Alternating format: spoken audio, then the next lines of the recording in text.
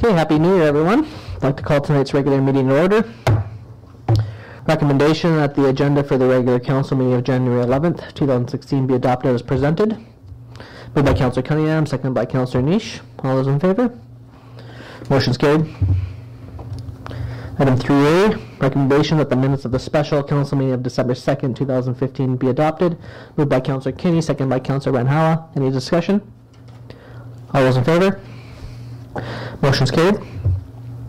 3B, recommendation that the minutes of the special council meeting of December 7th, 2015 be adopted. Moved by Councilor Mirau, seconded by Councilor Niesh. All those in favor? Motion's carried.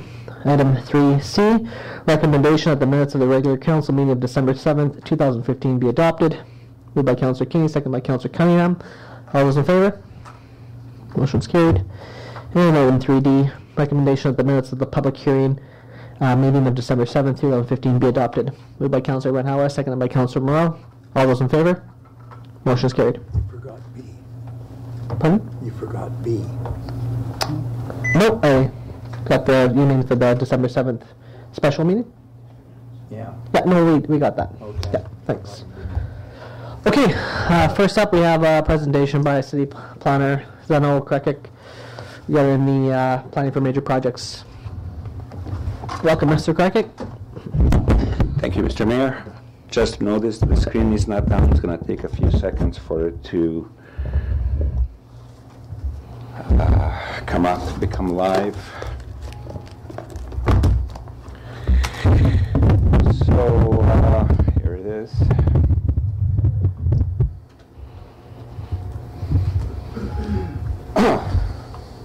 So planning for major projects. Um, maybe just a quick explanation on, as to what that is. So generally, expectations of a large uh, temporal population, but we always kind of draw a curve, is not something that has been contemplated in our regulatory tools that we have to our to our use, which are official community plan, zoning plan, plan development permit areas, and such. Um, and so I had to kind of make a distinction between the two, and I call I call the official community plan the zoning bylaw and those tools as core planning, just reference to being the integral part. It's a central part of our planning that we must that we must do. Um, and then PMT, PMP, or planning for major project, is an attempt to to uh, project and forecast how the uh, sudden and abrupt population entrance and exit will affect the community and essentially how can we plan so that when we come to the end of the project and lost construction workers leave, um, that we still have the community. Uh, many of us spent a, a weekend in, in a workshop on placemaking, you know, how activities of that nature, which create a community, can continue and be successful throughout and after uh, this big population um, explosion takes place. So that's generally what it is. Uh, quickly, introduction. We started up in 2013, uh, largely by, um, by a lot of uh, support from, from, from our CAO. Um, 2014 was resembled a hurry up and wait. However, we did uh, meet some important benchmarks. Uh, the housing inventory is, uh, is not unique, but definitely not something that's done um, as a matter of course. And what was really interesting is that although we did hire out technical support, um, probably 75% of the work was done by city staff, and that included clerks and building inspectors. And it was interesting to see um, how our our conclusion that City of Prince Rupert has um, multi-generational presence translated into um, individuals taking initiative to be part of this of this work and, and, and being quite proudful of it at the end. We also entered into uh, GIS, which is uh, Geographic Information Systems. It's a powerful uh, computer program which combines data and mapping, and uh, we were able to to uh, get some money from the provincial government, and that was also a fairly big part of 2014. If 2014 was hurry up and wait, 2015 was all about hurry up. There was absolutely no wait whatsoever. Uh, indicators. Indicators are, are those things that are important to the community. Now you'll see that I provided links all along the way. I'm not going to be opening up at each link. It's a continuous reminder to council and, and to the community that pretty well everything that we do, we do post on the website, which can be found under the projects and planning for major projects. Um, this one I will open. It's an important link. I mean, important um, document which is not opening. Uh, it opened up down here. Uh, so indicators, this you can see by the date that this was done um, nearly two years ago. Um, on the left-hand side, indicators are those things that we, through a number of uh, um, meetings and, and sessions, uh, identified as being important things to the community. Uh, they include population, housing, land base, health, uh, land base, infrastructure, uh, social capital, tax base, local commerce, education, and health. Uh, some of these things belong to the uh, to the city responsibilities, and some are not, and we'll talk about that a little bit later on. Um, this definitely has outlived its, uh, its, its life cycle. As you can see, the measurements and such, many of them have been done, and, and we have confirmed as to why we are doing it, which is part of the analysis. And I think uh, that our communications manager has created some has created some, some infographics that I will share with you. I think this can be now turned into an infographic to be more descriptive and, and readable for the community residents in general. Uh, we also entered into community engagement. Uh, yeah, we, we have, this year we really concentrated on, on, on keeping council abreast. And, and, so we had a number of workshops and tried to keep the council uh, aware, and we were moving very fast, so there was no very much time to catch up. It was all about uh, present time and, and, and kind of understanding where we are. And so uh, this, this one uh, PDF, um, this is, this is what our communications manager um, has created as a first of a series of PDFs. This was already in a social media, on Facebook and Twitter, and on our, and on our website. We had a mild success in, in, in people looking at it. Uh, we're also going to put this in the newspapers. But the, the, re the reason for this one is to, number one, talk about what are city responsibilities and which responsibilities are not city responsibilities, and kind of clearly indicate that some things, like, for example, nonprofit housing, um, or non-market housing is a, is a very much a provincial matter that that we cannot address, but we can we can definitely help along with it. Um, population indicators, subdescriptive, probably one of the most important uh, indicators. Uh, generally, across the Canada, across British Columbia, every municipality does any planning, uh, starts with Stats Canada. Stats Canada numbers are the ones that govern everything. And then from there on, we, we, go, we go into variety of analysis. We have found out that on a continuous basis that, that the numbers that Stats Canada has uh, published are did not, we did not think, anecdote, based on anecdotal evidence, that, uh, that they are correct, that they were always less than what was indicated. And so, you know, after a long period of time, we finally this year conducted our own survey, which was scientifically, which was scientifically um, uh, uh, done. Uh, we had an economist and, and statisticians who who led us through the systems of questionnaires and, and such, and, and we did a sample that's of adequate size to, to, to assure that we have accuracy. And essentially, we have found out that uh, what we anecdotally thought was correct, it was correct. And so, while Canada pegs us at approximately 12,500 in 2011, and BC Stats adjusted it to below 12,000. For 2014, our numbers were just less than 14,000. So if we're looking at a difference of 10 to 15 percent, those who are in a planning profession know that that's a noticeable number that we should be mindful of. And so that was the reason for us to do it, and it's a very important number to, to consider. Uh, we also uh, stumbled upon something that we really were not aiming to do. It's on a project team.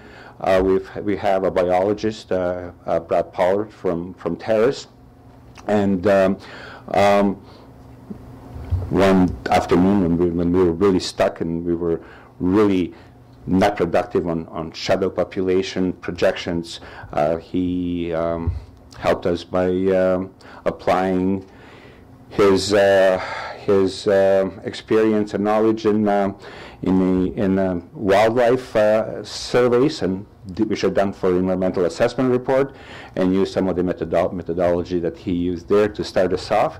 And so now uh, those who were on uh, October 20th uh, public uh, council council um, workshop have seen this much shorter version. Essentially, it was just the top end and the bottom end. We have expanded it drastically. Uh, we are now at version 9, and in fact, uh, Brad is working on version 10 already. What we have done is we have subdivided the population to craft, non-craft. This is the, the population that will come with with the major projects. We have subdivided them in a craft, non-craft, and management. This is from the experiences that we were able to gain in our research in Kitimat. And each one of those layers has a different different uh, characteristics. When will they come as an individual? Will they come as a family? Will they stay in a camp? Will they stay outside of the camp? And so these variety of numbers are all in here. And so this is an input table. Uh, one of the important numbers uh, is the multiplier. And so basically our research indicates uh, that um, this multiplier can be from one person in a camp, meaning the worker that we hear be 5,000, so that person is in a camp. For each one of those one people in a camp, there is uh, could be as many as one in a town to as few as one to three. And so in this in this uh, permutation, we chose to we chose to use uh, uh, for every three people in a camp, one in a town, which is what we would call a very conservative approach. The other part that we have included in here is LOA, that has a, uh, that's a living out allowance. Uh, if, if it is provided, that, that creates a, quite a bit of a difference than if it's not provided. So th- these are the details that, uh, that are part and parcel of, of this model. Um, and um, so once we, once we plug those numbers in, once we plug those numbers in, then uh, we get, you know, graphs. And so in this in this permutation that um, that you have in front of you, you'll see that uh, the population at the 2016. I'm kind of hesitant on increasing it because I may do something, but I will try it. So in this permutation here, so this is year so the project starts in 2017. That's when we elected to, to, to proceed. In 2020 is the peak. At the peak, uh, there'll be 25,000 people in the greater Prince Rupert area. Uh, in, our, in our numbering, we have a regional population, so we include Port Edward.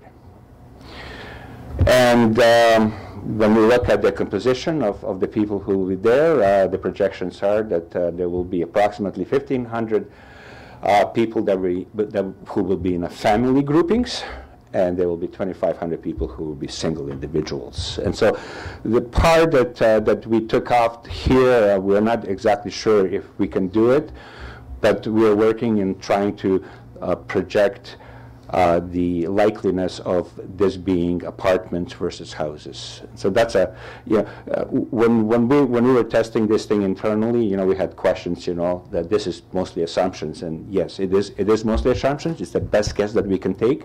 And we are seeking actively better information from the companies, which we still haven't gotten.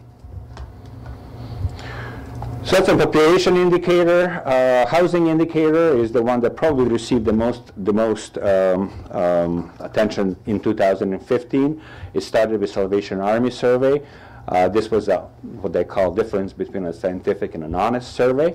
This survey here was done as part of the ministerial initiative and it was conducted by Captain Shield and it was done during the Christmas turkey giveaway and uh, there were 700 and some odd turkeys that were given, and he received 690 responses. And so we have plotted and such. Uh, the questions are not necessarily helpful, but we do have some fairly good information in terms of the, you know, the the the um, uh, the poverty level in in town.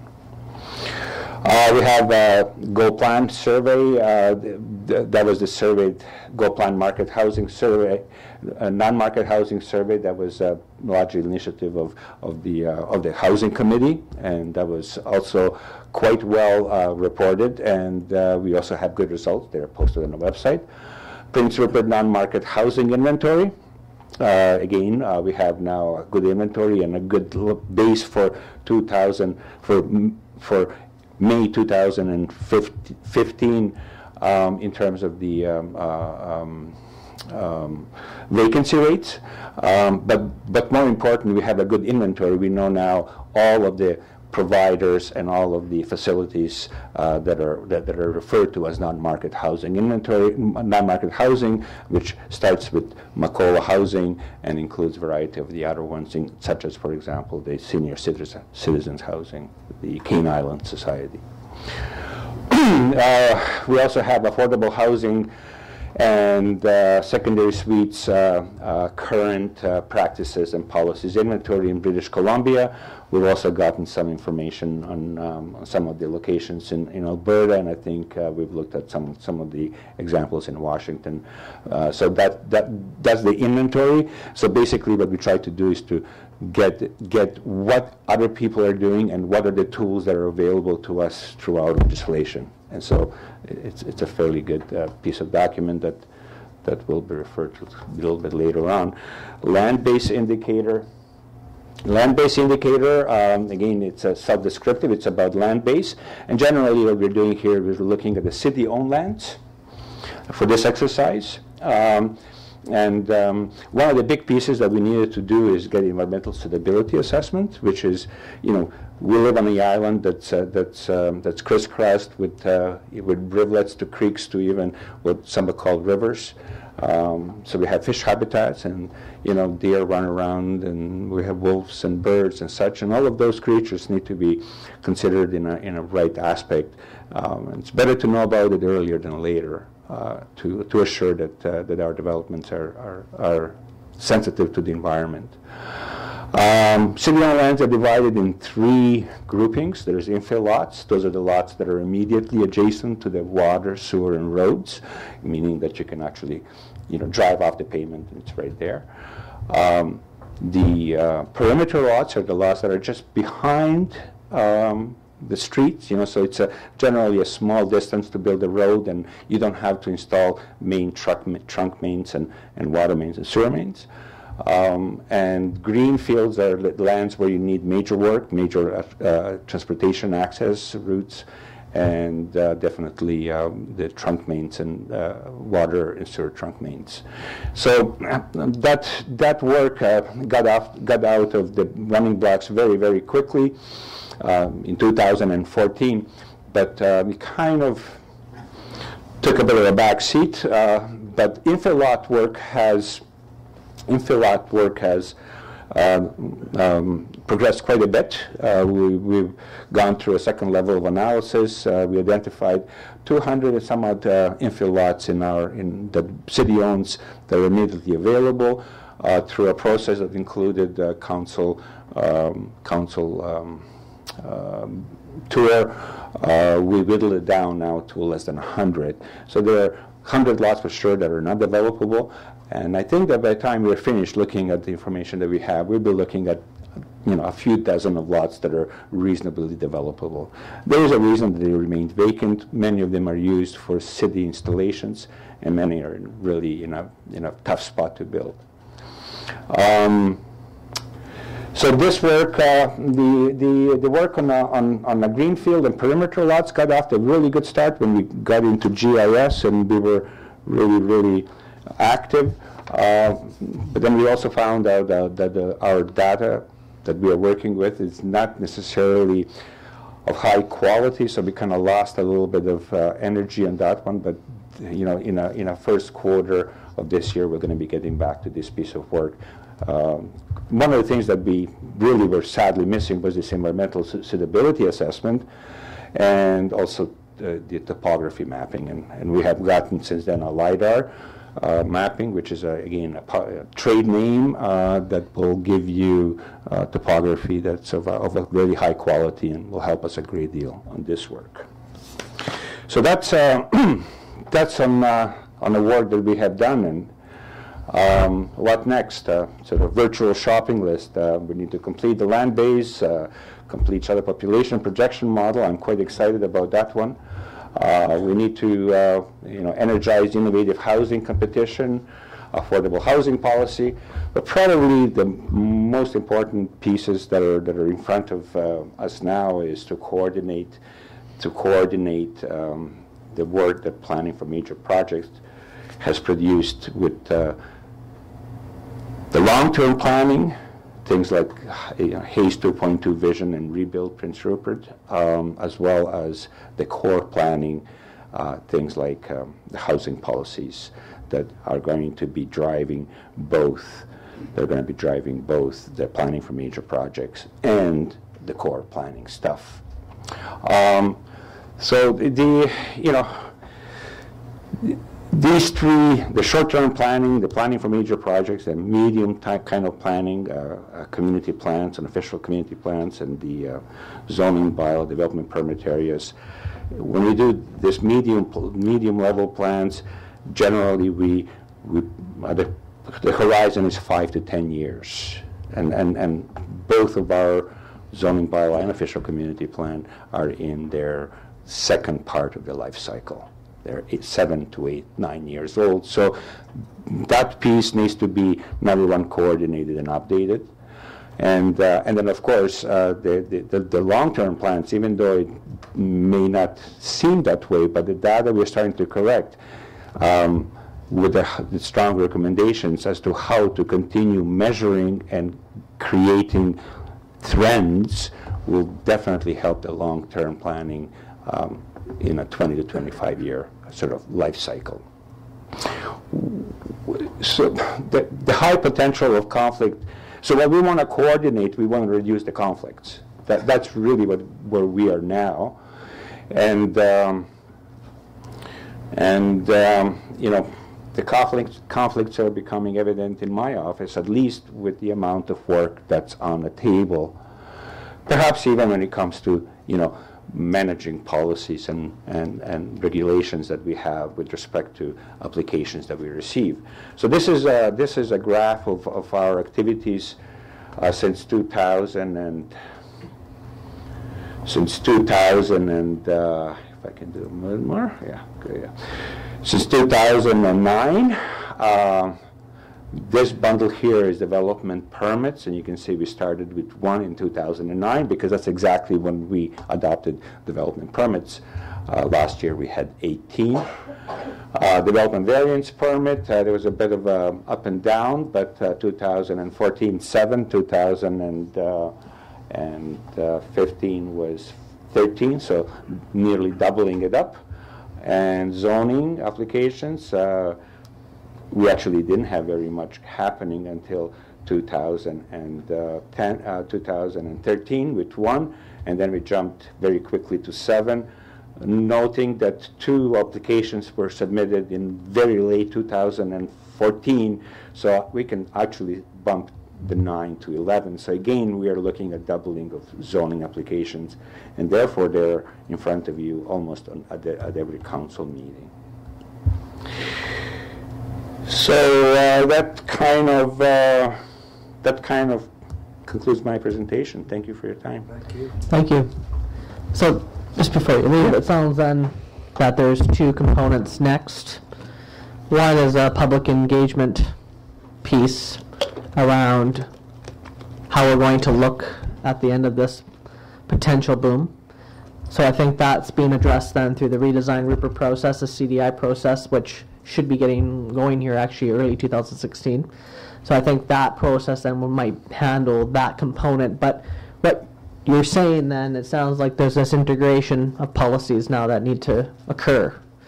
And I think what I'd like to do here, uh, for Mr. Mandryk's record, I'd like to put a mo- notice of motion in uh, to create a working group, or a term, for a terms of reference for a working group to integrate the planning for major projects, OCP, and affordable housing policy development. That is required now to take these to the next stage. And that would look at the midterm and short-term things we need to do for policy, look at the OCP, look at zoning bylaws, those type of things. And that's something I could work on with the city manager and the planner here in the next couple of weeks before our next meeting to get to council uh, to create a plan. And what do you feel is a time frame that we could complete this integration uh, policy if we were to get a group together and really hone in? What's your estimate if you were to give one? Um, Well, first of all, uh, Mr. Mayor, you know, whenever I do this, people look at me strange. Now you're doing this as well.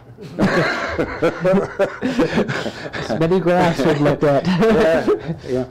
Um, so, you know, to put together sort of the, the, the framework, the framework around how these two pieces will work together. It's a sort of a headpiece. It's almost like a headpiece of a of official community plan, where the goals and objectives of the official community plan of this planning process.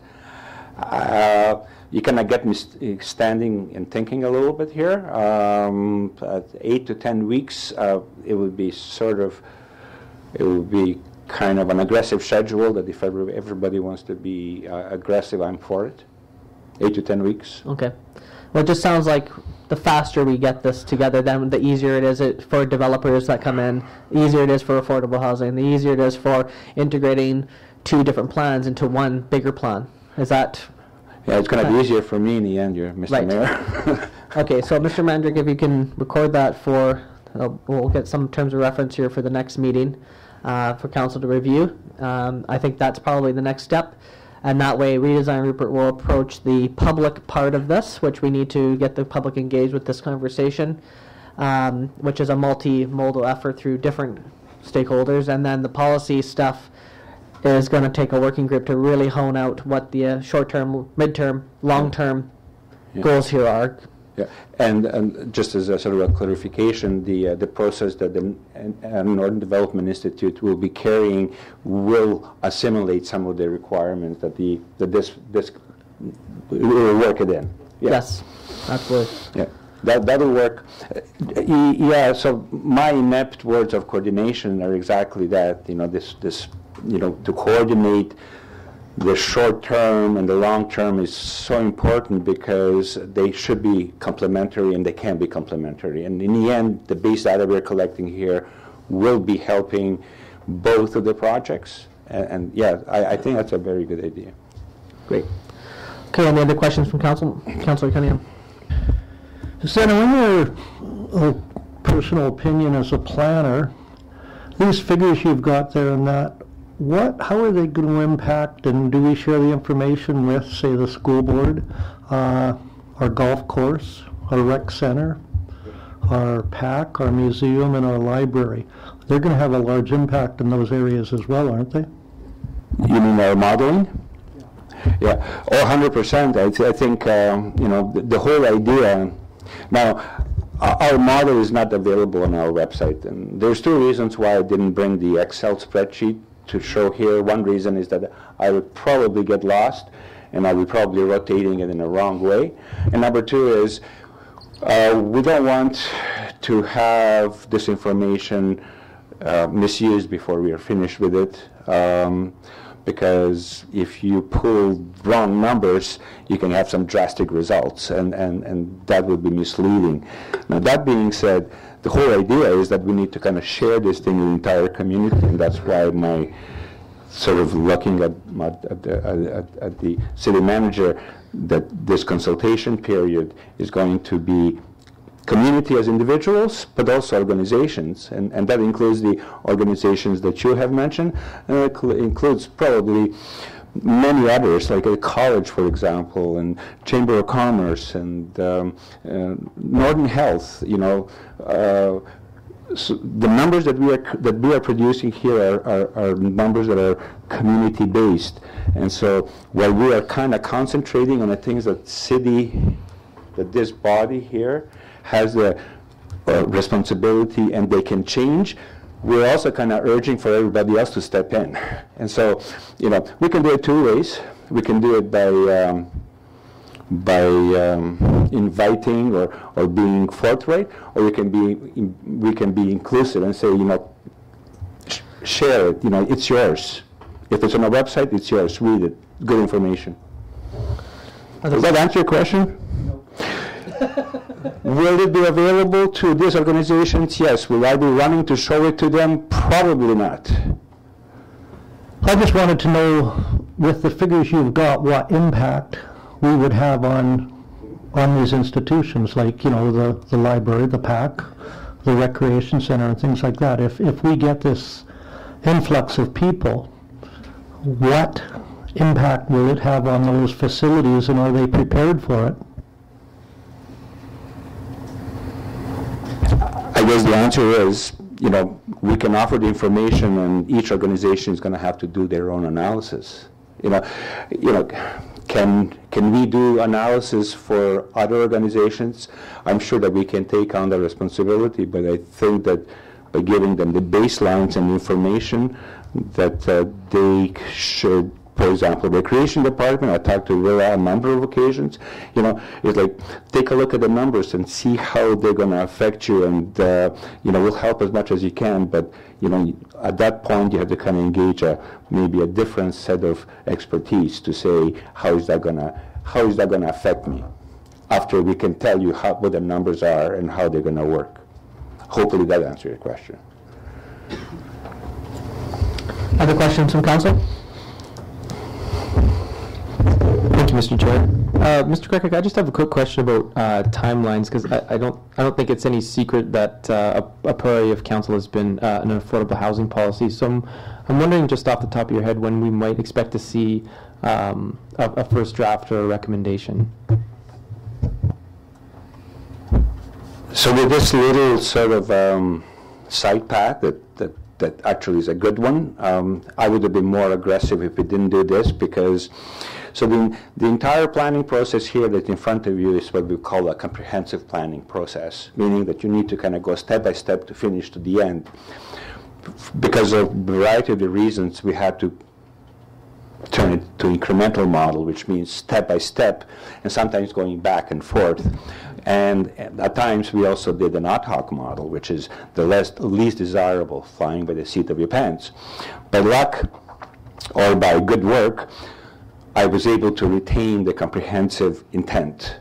And so how quickly can we get to affordable housing? I think that's one of the pieces that that you know we can start working on pretty well quick. But rather than depending on staff to give you recommendations, I think a good start would be for council to, it's only 25, both of these reports are about 20 to 25 pages long. I, I'm assured that we don't write voluminous reports. And so it'll give you sort of the, the, the taste of what's going on, and then when we sit down to talk, probably best would be in a, in a workshop session is to, is to, you know, find out whether the, what are different opinions as to what we can use. Affordable housing, the first thing that we have to start is, you know, and we still haven't gotten grips on that. It is, what is a market affordable housing in Prince Rupert? You know, I may have my professional opinions, you know, and, and, and other people can have their professional opinions, you know, but the reality of the facts are that uh, we, you know, affordable housing is a very, very uh, nebulous term, you know. How can we affect uh, affordable housing? You know, for example, by increasing um, the number of, of, of uh, secondary suites is the piece that now starts to dovetail into this conversation. So how quickly? would, would, would say this lag of a maximum 10 weeks I'm sure that whoever is in a working group or committee or whatever it's called, that those pieces will always be put forth as one of the most important ones. Technically, I want to finish the land-based plan first, so I know how much land we have. But as I said before, you know, putting one thing in front of the other just means that we uh, work a little bit harder. So how quickly it can be done? It can be done by mid of this year.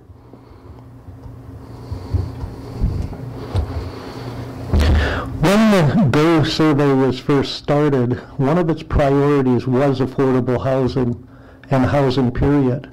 And another 10 weeks will be well over a year since it was initiated.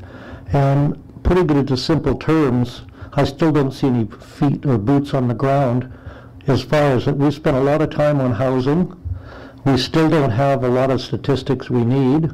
And I don't, I don't know, like, you know, one year seems to be a long time to be waiting for statistics. It should, you know, like, we were hoping, like, some of us feel that we don't even need the statistics. We know we have a problem, and it has to be addressed.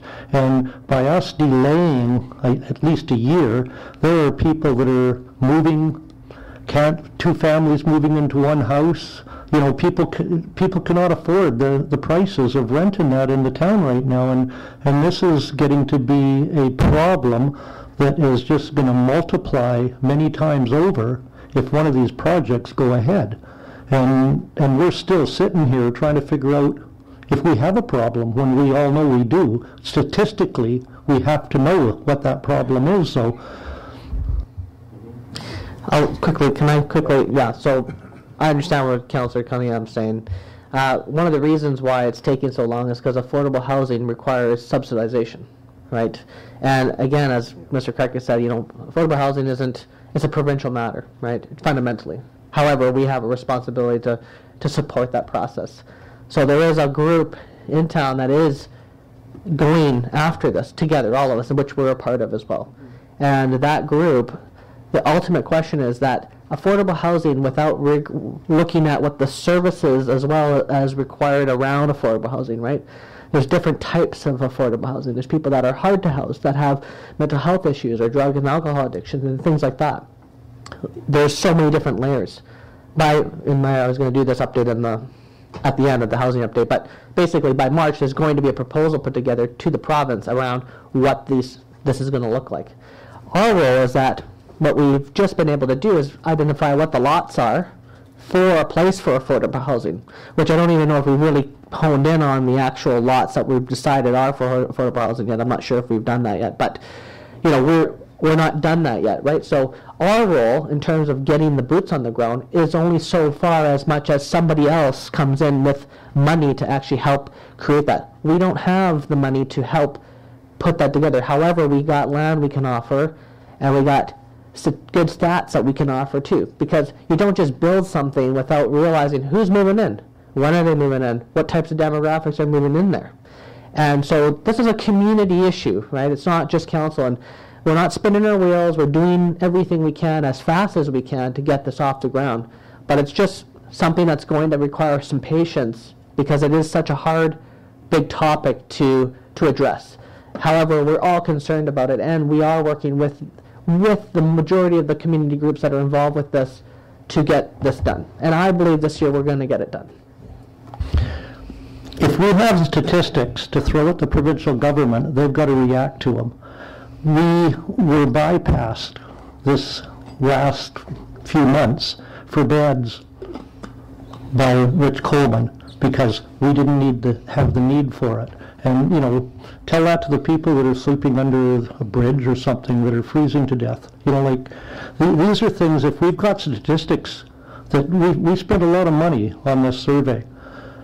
And uh, I would like to see the statistics so then we can approach the provincial government and say, this is the problem, these are the people. And, you know, affordable housing, now there's, there's lots of different categories. Some of them are subsidized housing, some are, are, you know, I don't know the exact term, but it's for people that need help when they're living in a, in a place. And, and affordable housing to me right now is just a person that's working some people at two and three minimum wage jobs and can't afford a house. You know, and that's BC Housing, that's M'akola, I know it's their problem, but if we approach the provincial government with the statistics and say, this is how many people we have in this town fitting into that category, then they've got to react. And we need these statistics to do that. And one year, you know, I'd like to see it as fast as possible.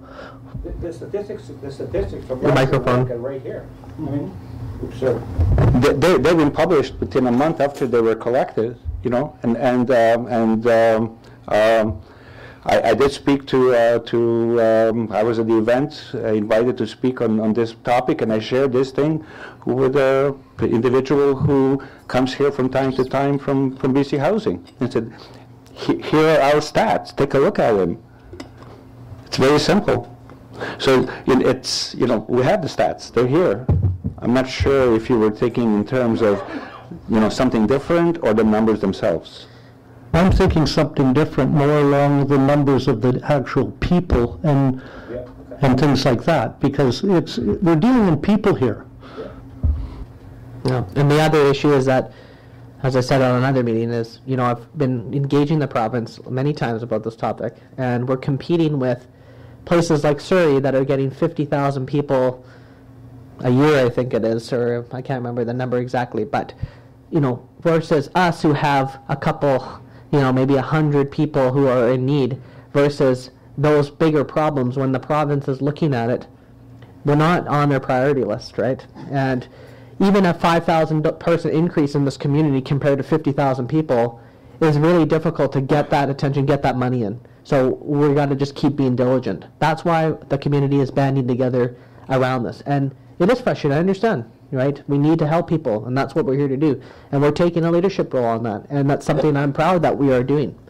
And I, I, I get the frustrations, but we're doing and working as fast as we can with the resources we have, with the power, the power we got of the community. And I know that this year we're going to really lock in on this. And just give it a little bit more time, and we'll, we'll do everything we can. We're working with Hecate Strait, we're working with Prax, we're working with North, North Coast Transition Society, with all the big players here that are, are involved with this, the Salvation Army, to, to, to get this going. So we'll just keep going and see if we can get a proposal on the table, something specific, find a piece of land that we're going to be able to hone in on and see if we can get this done, which is just one piece. So my thought is that if we get this policy group together, that will do the, what Council Mirau said, get the affordable housing things online, look at the OCP stuff, look at the planning for major projects integration. That takes eight to 10 weeks. We get all these policies lined up. Council can then pass these policies, which then will make the planning department easier. We'll get a bunch of affordable housing policies in place, which will give much more clarity to the community and help us facilitate this process even better. So, I mean, good work Thank you. is what you're doing. Um, and it's not easy to understand for the general public, and that's why this year, communications manager is going to be starting to digest this information and, and help help the community understand exactly what we're trying to do here.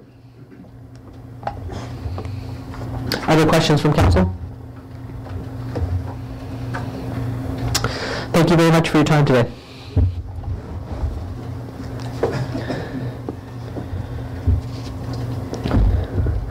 Okay, moving on to item 6A, a report from the Director of Operations regarding the memorial plaque for Colonel Peck. Welcome. Thank you, Mayor Brain. Uh, Happy New Year to everybody.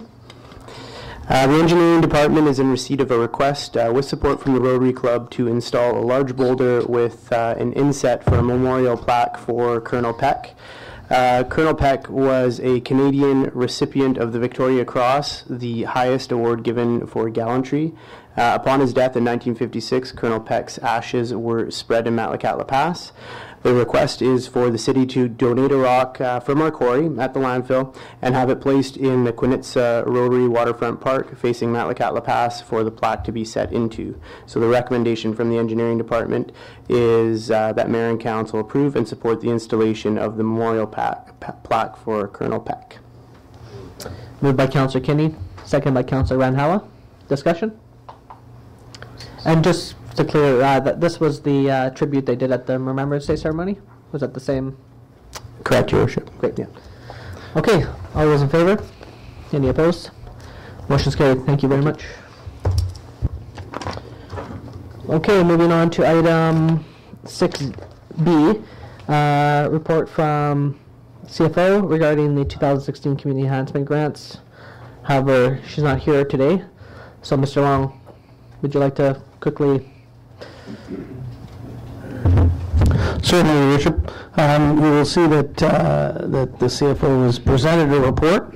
Um, I I know that uh, the criteria um, that was used probably didn't, um, didn't satisfy um, um, the the uh, fuzziness of, of trying to come to a conclusion. It was mechanical. Um, uh, We represent, uh, or we recognize that, and I think she's done the best she can. I think ultimately, though, council will have to make the choice as to where you want to put the money um, in, into which, uh, which organizations. Right. Is there any thoughts, uh, Counselor Niesh? Well, this is a, a tough one because, uh, you know, obviously we're looking at cutting on, on what uh, people are requesting. Um, I've, we've heard, we've all sat here and uh, for I don't know how many hours one night uh, listening to everybody that spoke about community enhancement grants, the the major uh, groups being uh, the museum, you know, the um, uh, what else was there? The Performing Arts Center, the library. We've we've we've talked to these people two two years now, and we've heard their concerns, and their concerns are very similar to the city of Prince Rupert, and that is we don't have the money. They're all in the same position. They're all lacking funds for general operations, uh, maintenance of buildings, such as the city. Um, and, and obviously, if we had lots of money in our bank account, we would probably want to double what we give them. Um, but unfortunately, nothing has come forward yet in this community. We're hoping that 2016 is going to be the year uh, that uh, that brings us to another level, and that we are able to really support these uh, en- enhancement grants in the future. Um, I, I've been looking at the uh, the numbers on here, and, and these are hard decisions, and uh, we all have to to make them, unfortunately. And there's always going to be somebody that's not happy. Um, I looked at the the numbers, and, and um, the the report that was put forward by our CFO um, basically was based on criteria which was set forward by Councillor Mirau. After we looked at this, uh, you know, everyone's got their own opinion, but it's hard to, to, to look at these things and say, well, this guy's cut, this person's cut, this is cut, this is cut, this is cut. And uh, I, I wasn't comfortable with that. Um, so I'm putting forward a motion that, uh, that looking at the current, uh, what 2015 was dispersed, the money that was dispersed in 2015, uh, I would like to keep all of those the same, other than to, to keep in the eight hundred and fifty thousand dollars, because currently it's thirty-six thousand over if we, uh, if we uh, keep that in place. So what I suggest, and this is my recommendation, is that we take fifteen thousand dollars more for the museum and bring them up to one hundred and twenty-six thousand. Uh, Fifteen thousand more for the Performing Arts Center, bringing them to the one hundred and we reduced the library by sixty-six thousand dollars and capped them at five hundred thousand dollars.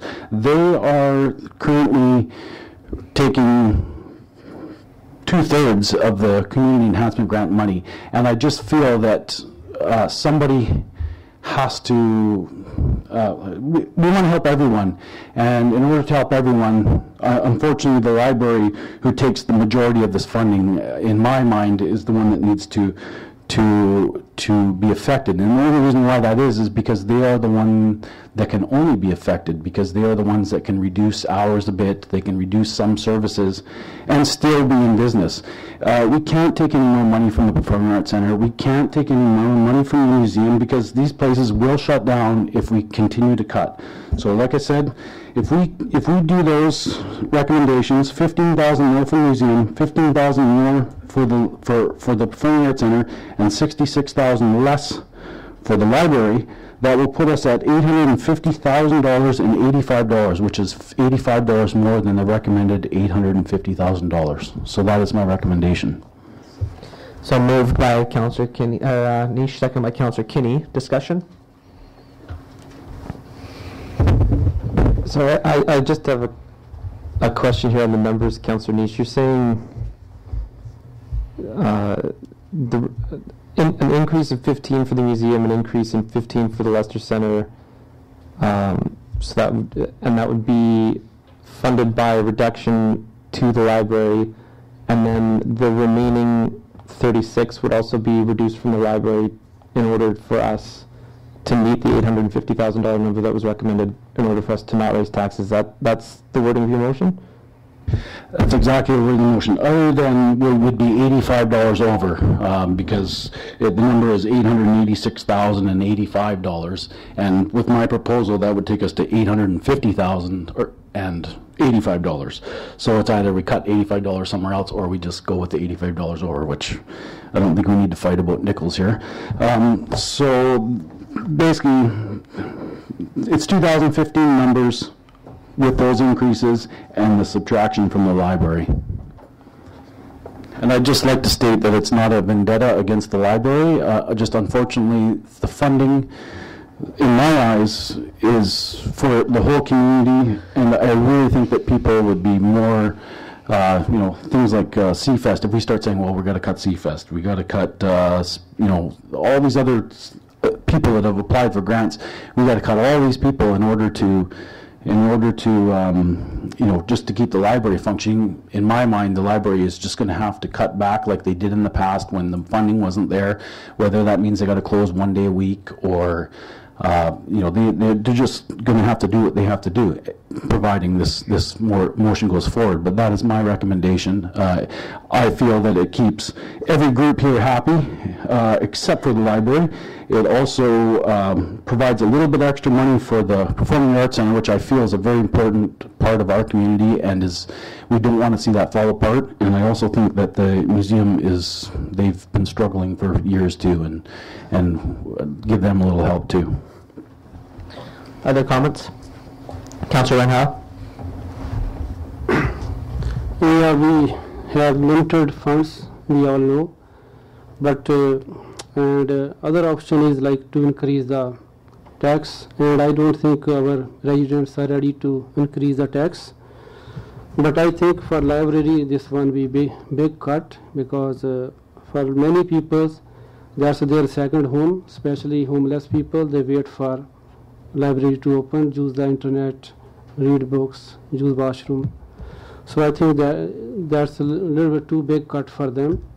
And other other option I was wondering like uh, if we can for one time we can help them from our legacy fund to give them keep everybody like uh, make them demands whatever they asking just for one one one time because this one be big effect on library if we do this way.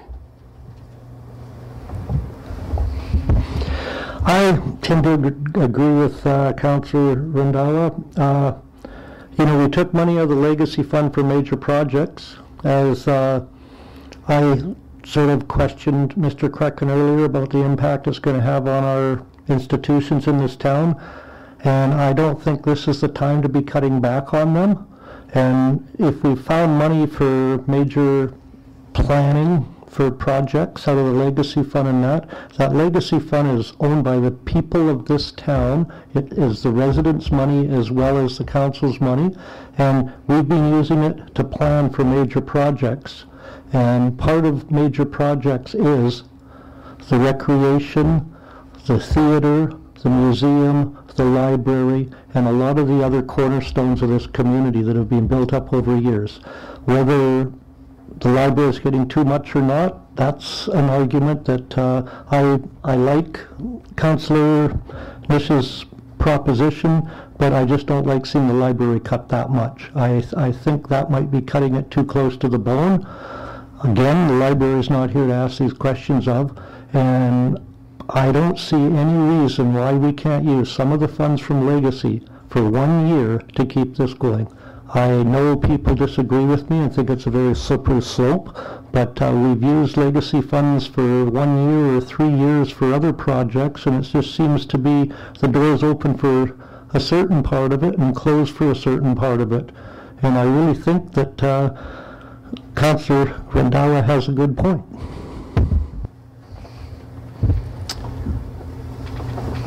Uh, I, I, I can't stress enough my position that utilizing legacy for anything other than planning for major projects, the, the distinction is, is we're either preparing for growth, it's temporary expenditures that we've earmarked to prepare for this, this economic growth that's coming, versus operational budget. And as soon as we start any one-time use for operational budgets versus preparing for major projects, the, it, it's, it's, it's not a, a strong, it's, there's no policy that would ever, there would be any exception to any rule. We would, we could have any amount of people uh, coming to us with, with any type of project and just asking us to dividend that little bit extra for one-time use. And so the distinction I think that's extremely important to remember is the planning for major projects budget that we approved uh, when we were first elected, it's temporary in nature and it's earmarked for our institution to be prepared for rapid economic growth. It, it's not it's not operational in nature unless you want to categorize it as temporary operational. And so I don't think utilizing any legacy funds for, this purpose is a good idea. It opens us up to so many policy issues. So, um, I mean, that's my that's my particular stance on that. But uh, in terms of Councillor Niesh's suggestion, um, I, I think it's pretty clear the consensus here at the table is is we would rather uh, not raise taxes and make these tough decisions rather than give try to make every single person in every single organization happy at the expense of the taxpayer. I think we're, we've all got consensus around that point. Um, but I'd like to suggest uh, a friendly amendment, if it's if it's possible, for the mover and the seconder, that uh, we don't want to be having these discussions every year and haggling over amounts that amount to one one thousandth of the city's budget. We don't want to be having these conversations every year.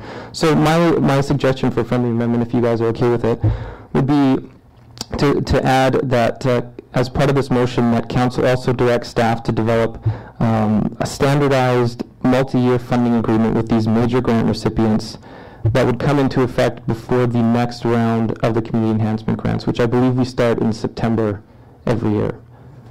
So if you guys are open to that, I'd like to put that on the floor as a friendly amendment. Okay. Yeah. So okay with that? Councillor I'd rather, I would feel more comfortable with that being a separate resolution rather than tying it in with this, because it's something that has to be addressed. And whether this, the enhancement grants pass or not, that is a resolution that should be put into action so that there's stability with these institutions as well as with the city. So I'd rather see that as a separate resolution than part of the first resolution, because we're still discussing the first resolution in its, in in its whole at the moment. He's just adding it. I mean, I don't think it matters if it's a not separate resolution or not. I think he's just saying we need to enter into five-year long-term contracts with these groups either way, and passing this or not passing this, that needs to happen. So I'm not sure if it needs to be out of a separate motion. But one thing I will say here is, you know, to echo what Councillor Mirau said is, yes, we have passed a temporary budget planning for major projects budget that has their own line, line items. That's all about increasing capacity for us to be able to handle mm-hmm. what's happening to this community around major projects. It's been specific. It also came from money that we gained from an LNG company as well. That way, it's kind of relevant. We want to make sure that legacy stays for infrastructure, things like that. It's not that I wouldn't say, it's not that I don't want to do this. As Councillor Niesh said, we would love to give them everybody what they want all the time. And as Councillor Niesh said too, is that we're on the cusp of potentially making new money this year. So this isn't a permanent thing if we go ahead with this. However, we do have a grant writer at the city, and the library and other groups here have access to that grant writer and there's other grants out there that these groups really need to take their own initiative and really start looking for those fun, those funds.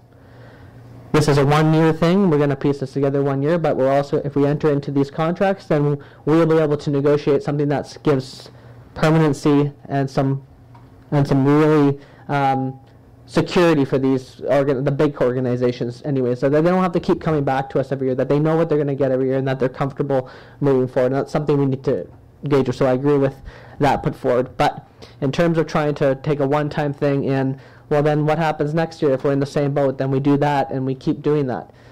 Eventually, we just keep dipping money in at the whim of council type of thing. And I think we just need to be careful with that.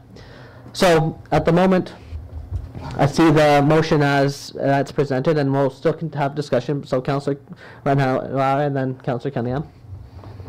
Yeah, I understand that like it's one year, right? And the next year, if we get other projects going, we can help them more. So like your amendment is like 850 for five years. What's your amendment? Like you want amendment? Uh, My amendment would, it, it wouldn't set any numbers, but it would direct staff to enter into uh, long-term, like a, um, I think we're kind of around consensus around five years would be a good multi-year funding agreement. So it would be negotiation about what they would get every year, but I think working from the baseline of what they currently get. Yeah, like uh, we are we just talking about one year. I understand that like we are offering doing infrastructure and helping other hiring some people here to get ready for the projects. But on the other hand, as a counselors, as a we our job is to look after the homeless people. We are already talking about homeless, right? People.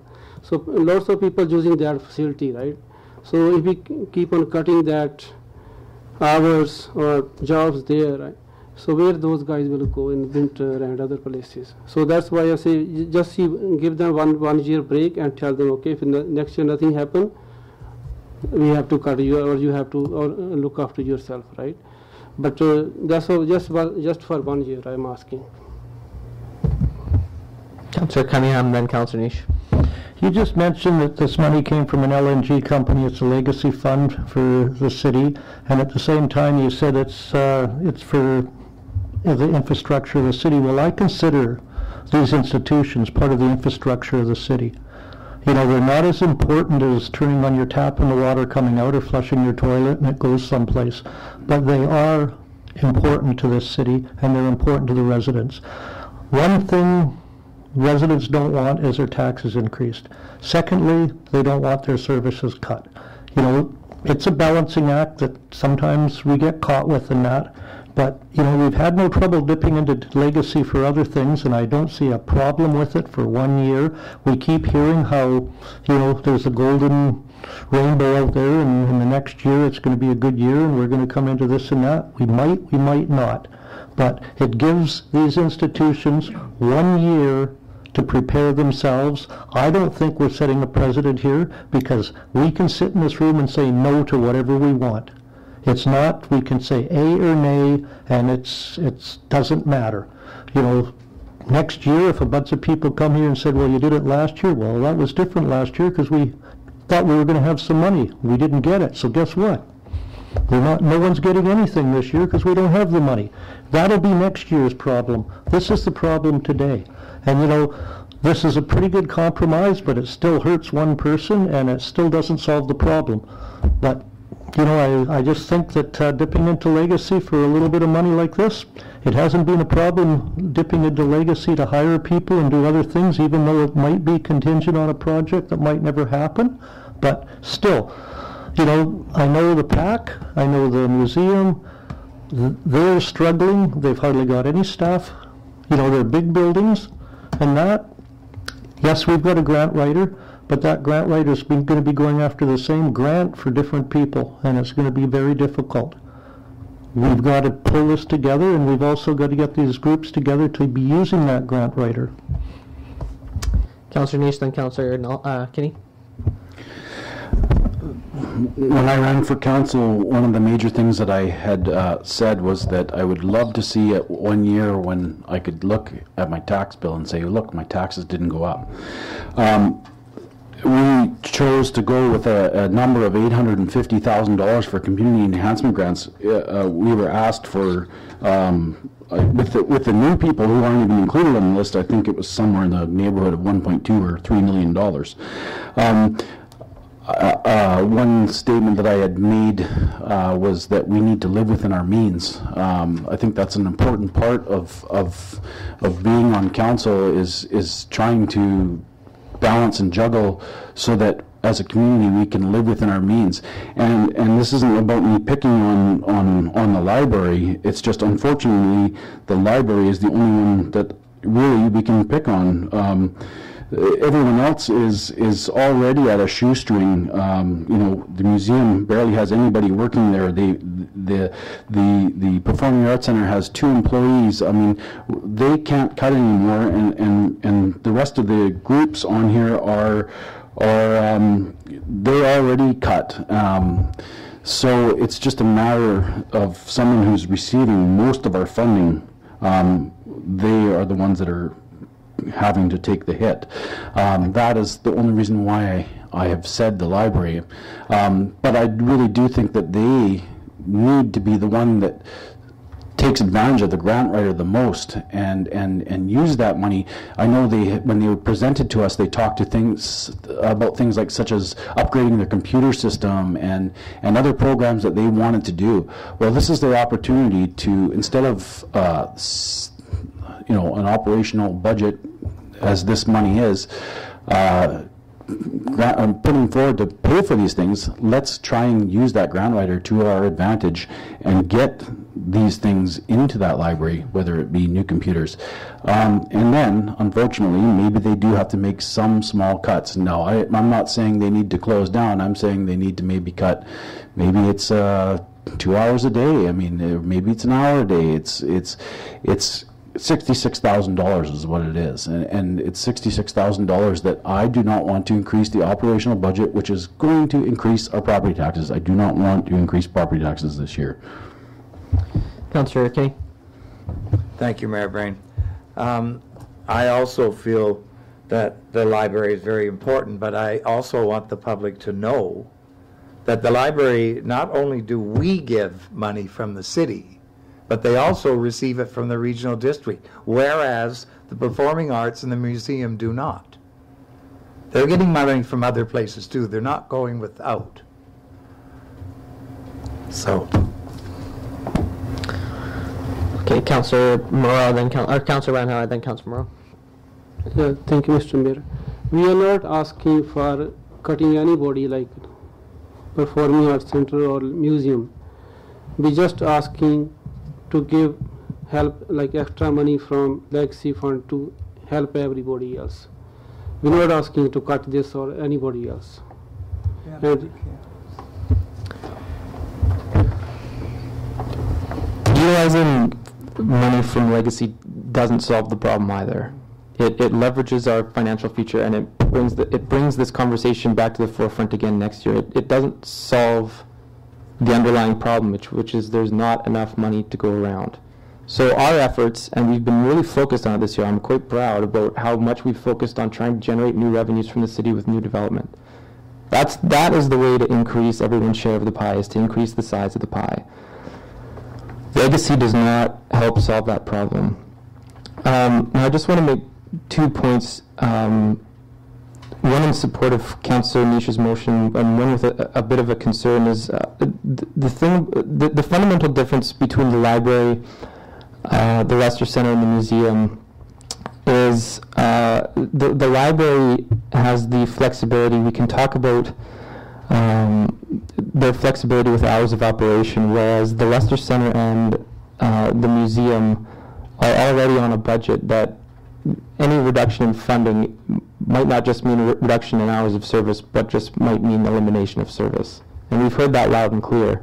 Whereas the library, uh, they, they do have additional flexibility that the other institutions do not. The concern that I have though in, in reallocating funds is, I, I, I I said this at the, at the last meeting last month, is I don't want us to be a council that picks through line items and tries to, uh, try again tries to focus on on on I can't I can't think of another word other than to say micromanaging and I so I, I I'm not comfortable with us setting the specific number of the reductions and increases because we haven't heard what exactly the impact impact might look like. We don't want to be the ones dictating uh, you know, you must close this day at this time. Like, we, we want to offer these organizations the, the ability to make those decisions ourselves. So I'm not quite sure how we can address that, that concern uh, in this forum. Well, I think, as you mentioned, the five-year or the long-term contract will be able to address those concerns. And as Councillor Kinney said too, the library does have other access to other money. Right? There's other grants out there that they do receive. And there is a regional district that does provide grant money as well. And so, as you, again, it's the one that has the flexibility that's not going to be crippled by a cut. Whereas the museum will, right? We know that that organization needs a dire attention, right? I mean, no, we don't even, I know council doesn't even really want to be making this decision, but however, we know we need to give the taxpayers a break. And, and that this may be a one-year thing or it may be more, but the long-term contract situation will, in the end, resolve the long-term security for these these these community groups, the the big ones, anyways, that need that certainty. So at this moment, I'm in favor of the motion with the amendment. Um, Councillor Cunningham. I think it's rather ironic, we keep talking about taxes here, we don't even know yet what our tax base is going to be. You know, we have passed a few projects in this town that are going to be bringing in more tax money. That's what this council ran on, and that's what we've accomplished in the first year. We've rezoned a lot of property that's going to bring in extra taxes. Some projects have already started, and that. And so we're discussing something here that the probability might be be nothing when tax time comes along. You know, like, I, I don't know why we do the enhancement grants when we don't even know when, what our taxes are gonna be. You know, like, I know they need their money at the beginning of the year to continue, and I know some of them, you know, I see no problem in floating them fifty percent of whatever they want, and then waiting and finding out when taxes or when the budget's actually done, what we can deal with. You know, like, their, their, their budgets run from January to December. Right now, most of these institutions are running on a, an empty tank because they don't have any money to pay their bills and that until we pass this enhancement grant. You know, like if we float them X number of dollars at the beginning of the year to get them over the hump until we know what the budget's going to be and then we can deal with it, that might be another way of doing it too. The one thing that we heard in feedback from all the groups was how we did the 65% last year, was that that doesn't work for them. They need, the majority of their spending comes right at the beginning of the year, and that's why they need that certainty, which is why we're doing it this way. However, Ms. Bomben would like to start the budget process with us in September every year to get ahead of this so that we don't have to be doing this. So to reshift how we do the budget and how reshift how we allocate funds to these community groups.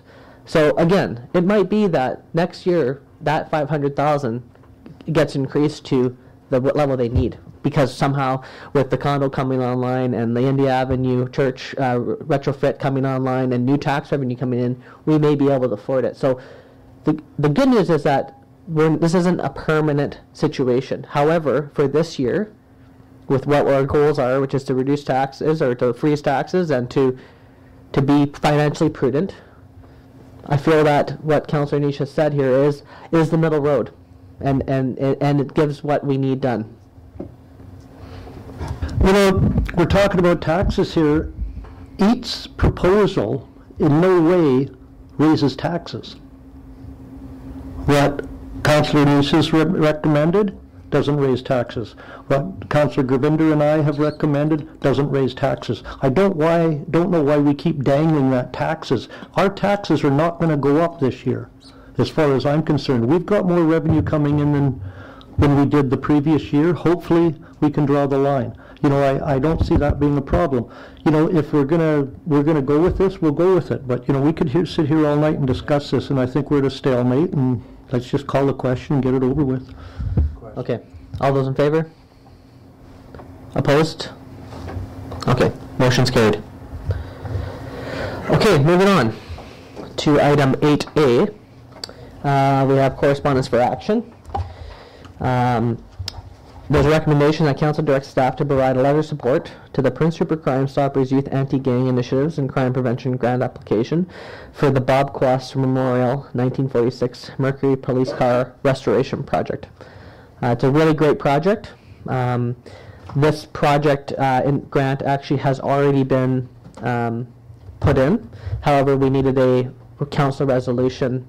So I wrote a letter to the grant teen agency to, to, to let them know that I didn't see this being a problem for the council to have an, a, a letter of support.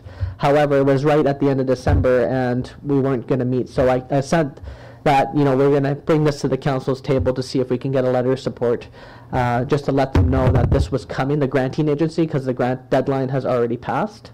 Um, so, um, so that's, so anyway, so the recommendation's there. So moved by Councillor Cunningham, second by Councillor Kinney. Discussion? Okay, all those in favor? Motion's carried. Great, thank you. Okay, moving on. Bylaws 10A, a report from the city planner regarding proposed zoning amendments bylaw number 3384, 2015, to permit the use of shipping containers in the P1 public facility zone and M1 light industrial zone. Welcome back. Thank you, Mr. Mayor.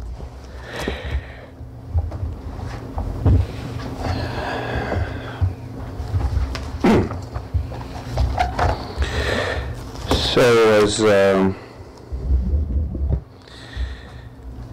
uh, quickly, the reason for this report is that the current zoning bylaw restricts uh, containers to M2 and M3, that's uh, uh, two heavier industrial zones.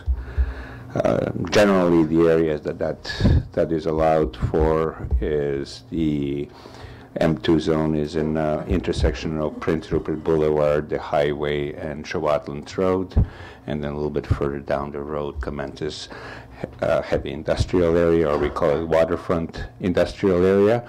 And we also have waterfront industrial area at the at the at the uh, head of the bay here. However, all of those properties are owned by the port and therefore out of our jurisdiction.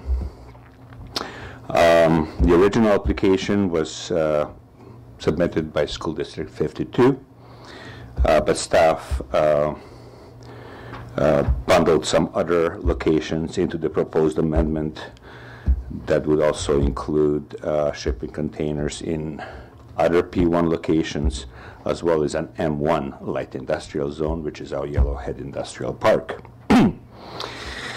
As background, uh, shipping containers are cost-effective storage. They are generally watertight. Uh, They are um, secure. They can be locked up. Um, They're good for anything from storage of materials to toys. Uh, On the flip side, uh, containers can become nuisance very easy, you know, from, from the paint, uh, branding, uh, staining by um, rust. Um, And so, on one end, functionality can become an aesthetic uh, dilemma. Currently, Charles Hays Secondary School possesses a shipping container that they are proposing to use for storage of sports equipment.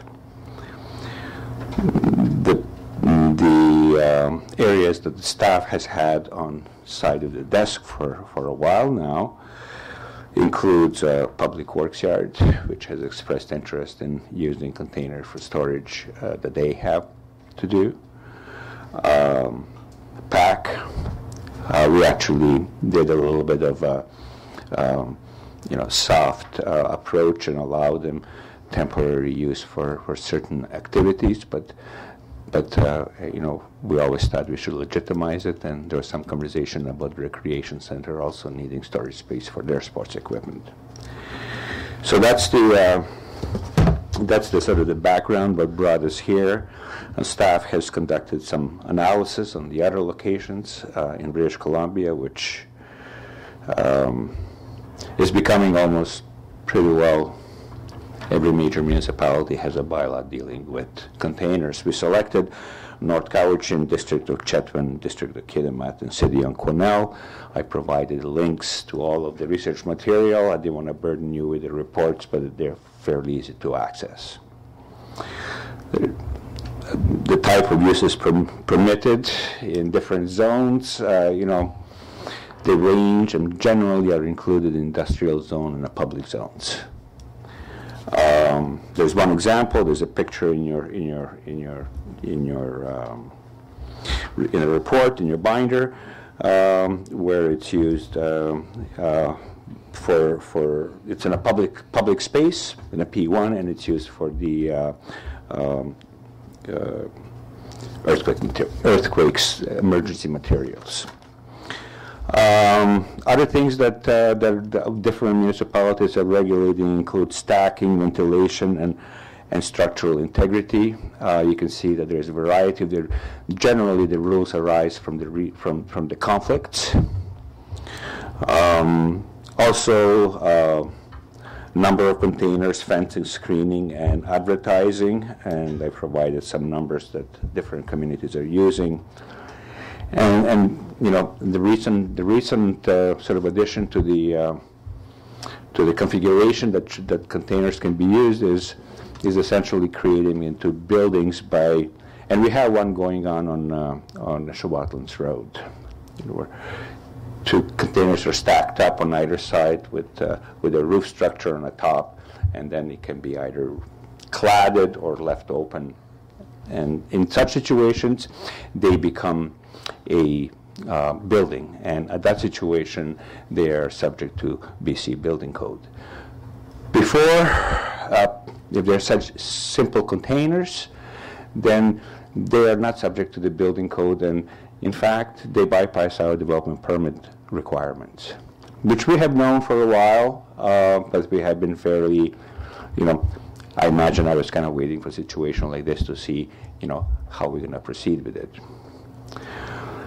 The cost for this uh, for this uh, exercise, as I said, I, I didn't say it in the report. I waived the fees as I'm using it for for other purposes as well. Uh, the cost to the city for this amendment will be in the neighborhood of $400 for the uh, advertising in the newspapers. I've determined that we do not require on-site signage or direct mailing.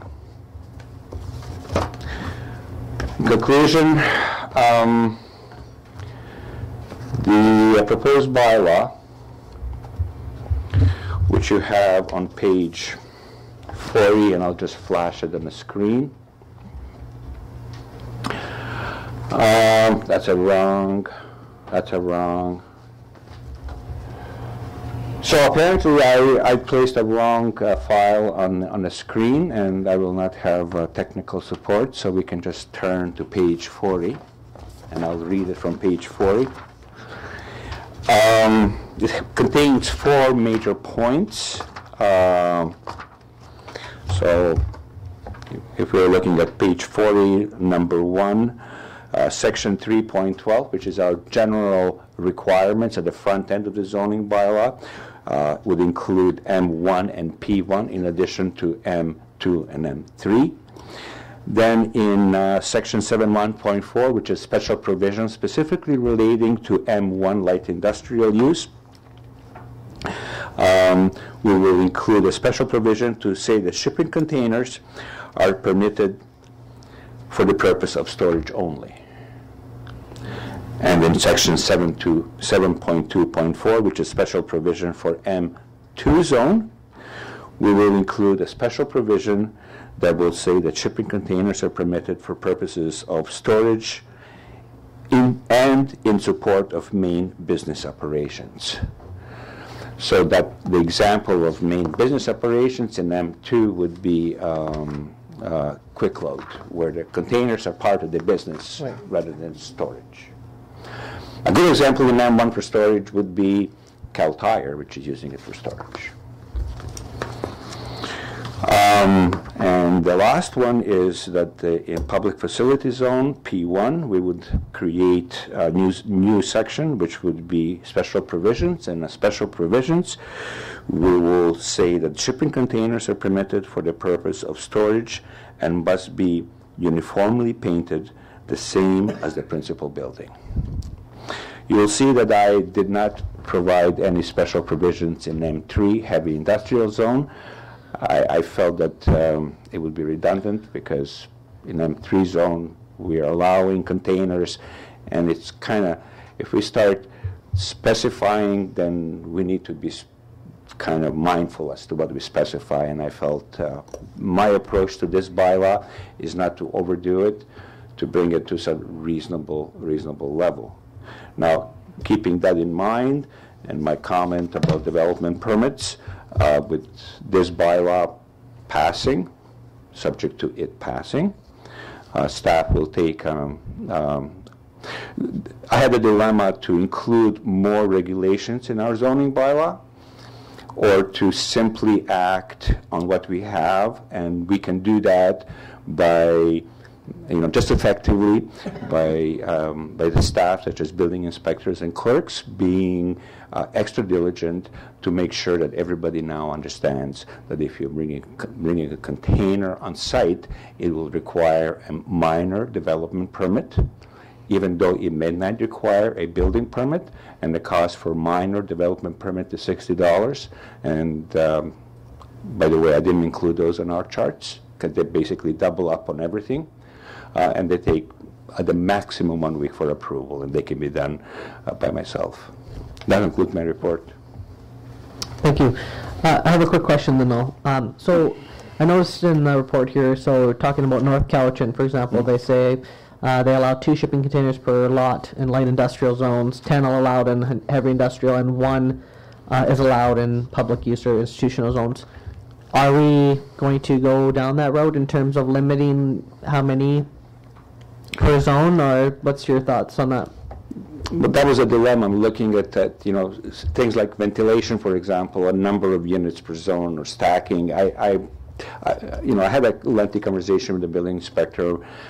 My opinion was to stay away from regulating the numbers uh, because then, number one is enforcement, and number two is, you know, in, in places like public, public use, I think there's a fair amount of, of, of sincerity between public buildings to, to assure that we have nice buildings. And when we get into the industrial area, it's really difficult to, to kind of look at those numbers.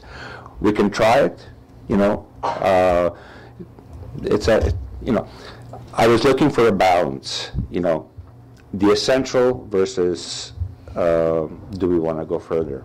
But in a conversation, should that be something that be, that you would like to consider, I can definitely provide that analysis for the next meeting. Councilor Niesh? Um, That was one of my uh, questions, was, was, uh, you know, do you want uh, a business having 20 containers outside their, you know, light industrial building? Uh, Now you're getting into the thing where everyone will just bring containers in and run their business essentially out of a container, and, which doesn't improve buildings, it doesn't improve the, uh, and build our community and collect more taxes and you know if everyone can just run a business out of a container essentially and have a little office beside it well that's not going to do much for improving tax base uh, things like that. So I do think we need to have some sort of limit on that. Um, and the other thing that concerns me is what are the uh, mechanisms as far as if someone didn't paint and follow the the bylaw, what is their penalty?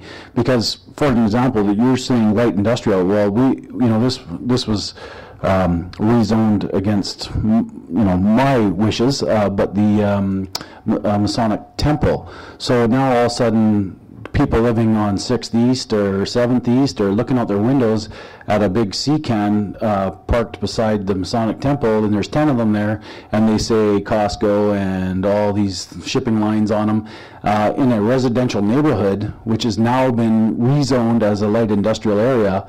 Um, that is my concern. Like, what is what is our uh, if someone didn't paint that container, what can we do about it? And, you know, how long does it take to do that? And, and, you know, is there a fine or, or, you know, what's the deal?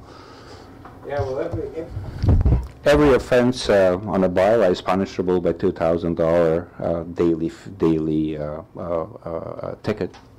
We have never implemented that. I don't know how many communities have actually gone down the road of implementing it. Generally, how we approach situations of that nature is, uh, you know, by a number of approaches to the uh, to the owner, and that and usually end up in front of the council uh, to try to resolve it before something does happen, such as, for example, going to, to the courts and, and seeking the remedy of of the requirements of the zoning bylaw. So it's it's, it's a tricky one. Uh, with respect to painting, with respect to painting, actually, you, you bring a you bring a good point. Uh, painting is only required in a public zones, not in industrial zones. So, you know, uh, we can we can definitely include painting in industrial zones. Uh, for example, M1, which is in a light industrial zone, um, um, and I was contemplating, um, you know, including such in uh, in a light industrial zone. But if we move to the uh, heavy industrial zones, you know, I I didn't think it was that necessary, but the point well made. Um, you had another point uh, earlier. What was your first point? Um on on I forget now. The, uh, how many are gonna be on, like, having them use on, uh, like twenty containers per? Uh, using using them for uh, for for commerce, uh, uh, containers are considered accessory buildings. They're not main buildings. They're they they have to be um, under under um, uh, 11.8 feet. Uh, so so you know. Uh, and and and uh, they're not considered to be the main building now. If somebody has a small building and has three containers for storage and running the business like that, I imagine that's the sort of the entrepreneurship on one hand, or on the other hand, it could be considered to be clutter, and and we can put more rules around it. Um, you want, quick follow-up and then Councillor Cunningham. Um, like I said, I mean, uh, you know, it's not that I feel that uh, we need to, you know, like the Yellowhead Center there. I mean, I wouldn't really expect everyone up there to to have to paint. Uh, You know, a light industrial have to paint their containers, but this is where I, you know, the only one that concerns me is, for example, uh, where it's been spot zoned, and now it's in a residential neighborhood at light industrial. Now maybe there's something that we can do where if it's uh, within a certain area of a of a residence, that maybe it has to be painted because you know that to me is a big thing. I mean, I would you know. If I lived on Sixth East, I already wouldn't be happy that it's been rezoned light industrial. And now, if all of a sudden I look out my window and I see a big, uh, you know, sea container out there, or there's ten of them there, I mean, I would not be happy at all. Um, so, you know, I but I don't. On the other hand, I don't expect Kal Tire maybe to paint, you know, their sea cans because they are in an, an industrial area, and that to me is, you know, you don't want to. Uh, you know, stop business either. I mean, you, know, you have to support the businesses, but there's a fine line there. And if we start uh, rezoning different uh, properties around town, um, you know, light industrial, spot zoning them, maybe it's something we can say if it's spot zoned, it doesn't apply. Or, you know, I don't know, but I, I think we need to do a little bit more work on this one. Councillor Cunningham and then Councillor Definitely, Just to respond Oh, to, sorry. to this thing, uh, definitely a good point about Six East. Uh, uh, I, I will, I will, for the next meeting, uh, provide an answer for that, either through the, through the bylaw or some other method. method. Uh, It was a good point, that I didn't think about that one. Councillor Cunningham and then Councillor Randhawa. Well, I, I loved Wade's idea there. I think it's a good idea, especially for something spot zone like that. And then, you know, also Park Avenue is uh, light industrial. And the first, last thing we want to see is people, people coming off the ferry with a whole line of sea cans up Park Avenue. You know, that's another thing there, like, uh, I, I think we've got to come up with some sort of amendment to the bylaw where square footage of the building versus the number of square feet of cans you can have, or uh, square footage of the lot, something like that. You know, like, I, I, this, this whole idea of, of these cans, I'd love to have one in my backyard. It's a great, quick garden shed, a little eight by eight, but, you know, I'd be the first one ratted on if I put it there. But, uh, you know, the, the thing being is that, uh, you know, we've got to address not just this, but commercial and as well as residential, they're starting to jump up everywhere. And, uh, you know, if the only way we can control them is with a bylaw, I'm all for it. But can we refuse a development permit in uh, light industrial? Because they're going to have to come and get a permit to put the container on their property. Can we refuse it like any other development permit? So you brought a number of, number of points in here. So P- on P1, the distinction between uh, M1, uh, M1 and M2 and M3, that is that in M1, it's only for storage. So you can only store, and, and so the conundrum as to, you know, if a business is operating mostly out of, out of, um, out of uh, containers, but it has a main, small main building, is the example that you brought, you know, so let's say, for example, if you look at Kal Tire, um, a great amount of their business storage is dependent on, on that, and, and we can see the numbers that are there. Um, so that would kind of take care of, of the P1, of, of, of the potential of rezoning the area down Park Avenue. And, and, and the council has an option of, of allowing anything from P, from M1 to M3, you know, or nothing at all. That, that, that continues to be our option. But I would say that, you know, again, the conundrum here is that I'm, I'm, I'm looking for your input because, you know, my attempt was to bring it to a intent level, you know. Most of the examples that are here are regulatory level, and, and so the regulations stack up. So I will, I will look how to manage these, these pieces, and uh, we'll see. We can definitely go higher, and nobody's asking me to go lower you know, we can al- always raise the bar. So I will, um, I will look at that. Uh, uh, Councillor Cunningham, there was, and your second point was, um, I think I answered your point. Okay, Councilor Randhawa, then Councilor Niesh. The second one was just square footage. Square footage, yeah, yeah, to incorporate into the prior one, yeah. Thank you, Mr. Mayor. I agree with Councillor Niesh and Councillor Cunningham, their points. Yeah, like if we allow P1 and M1 using containers, we, especially we are already struggling with parking lots, like parking space. If we allow that, I think that will make situation worse for the parking. Yeah any additional comments from council? Councilor Niesh.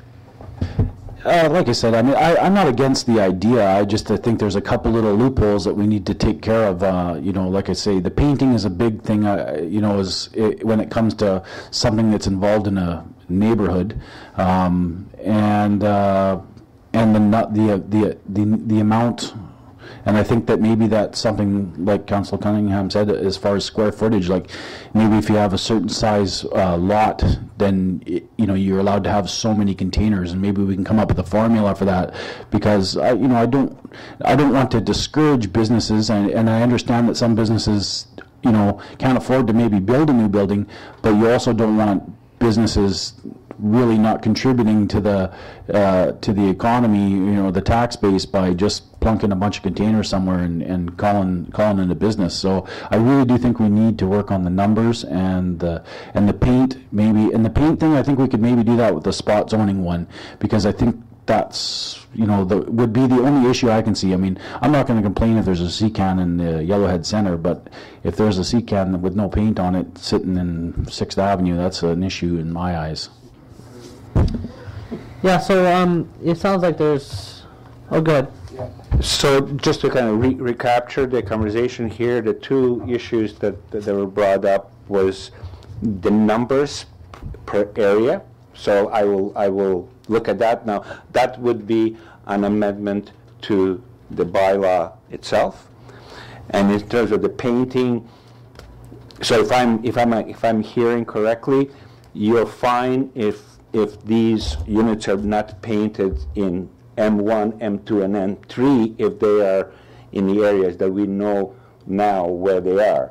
But if there's a spot zoning, or for example, uh, the area that's down a Park Avenue, how, how would that kind of work out? And I'm just going to have to, you know, put my thinking cap and try to find out, do we have to do that in a bylaw and everything? And the questions I want to know, if you are okay the way that I left M3 zone, which is basically mean you can do anything you want.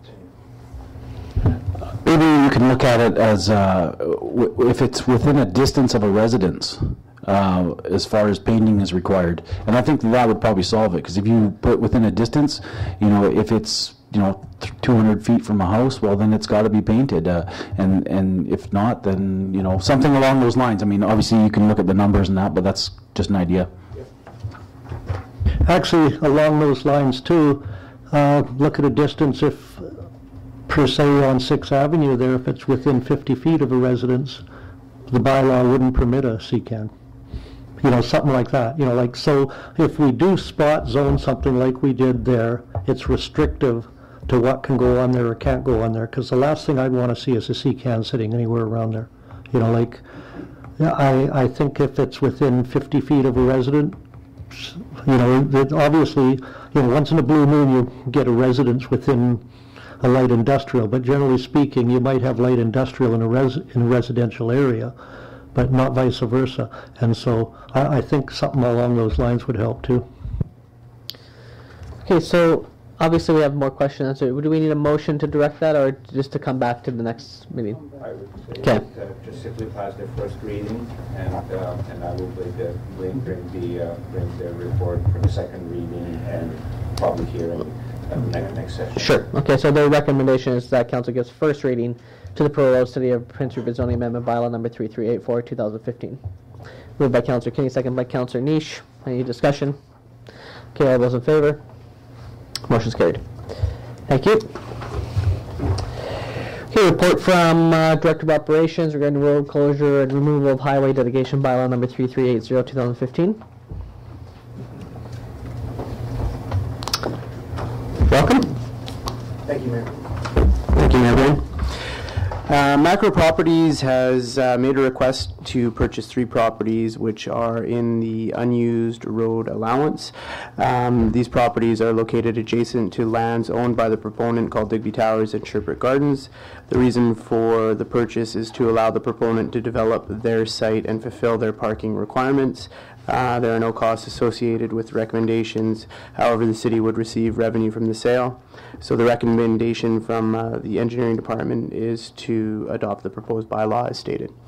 Just a quick question. Sure. Is this to prelude to them potentially uh, renovating or fixing up Digby Towers?